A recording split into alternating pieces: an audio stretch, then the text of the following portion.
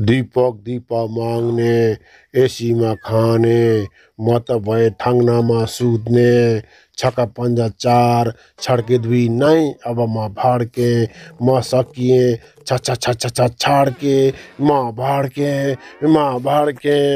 आबो साथी भुवन होइन यो के भन्छ अनमोलले आबोय डुलुवा मसन त लागेन, ह, यसलाई। आबोय होइन यसको आज के हो यो पारा? फन्डा के हो भुवन आज चार पाँच दिन भयो यार सुबित यस्तै गरिरहेछ। डुलुवा मसन चाहिँ होइन रहेछ। अघि झाँक्रीलाई ल्याएर देखाएको। साथी चाहिँ गएको रहेछ यार। आबोय हट के भनेको यार? आबोय भुवन सातोजनालाई के अनमोल? दुधे बाला खोर भन्या? कसरी सातो यो त यार? आबोय। अरे सोभित के भनौँ यार? भन्न पर्ने शरम लाग्छ यार सोभित त्यही दिपकको छक्का पन्जा चार फिल्मले सातो लगेछ यार। थुक्क आबो भुवन विनाश काल होइन विपरीत बुद्धि।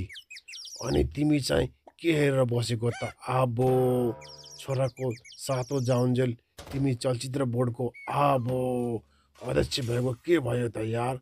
आफ्नै छोराको फिल्म हिट गर्न नसक्ने अनि चाहिँ छोराको सातो जाने गरी फिल्मलाई फलाफुनामा रोक्न नसक्ने। अब यार सुबित मैले त सकेसम्म गरेकी हुँ यार।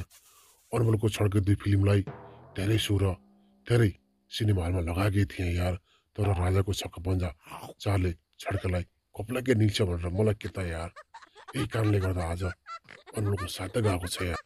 दिपक दिपा माग्ने एसीमा खाने म त भए थाङ्नामा सुत्ने छाड्के म त भाड्के अङ्कल अङ्कल छिटी अनमोलको सातो फुकाउनु पर्यो यस्तो चालले अवस्था झन् बिग्रिन सक्छ फेरि यो कुरा मिडियासम्म पुग्यो भने दुनियाँलाई थाहा हुन्छ अनमोलको सातो गएको भनेर अनि अनमोललाई मेगा स्टार होइन छेरुवा स्टार भनेर भन्न थाल्छन् आबोय मलाई पनि डर लाग्न थाल्यो आबोय कतै मेरो छोरा सलोनको पनि यस्तै हाल त हुने होइन।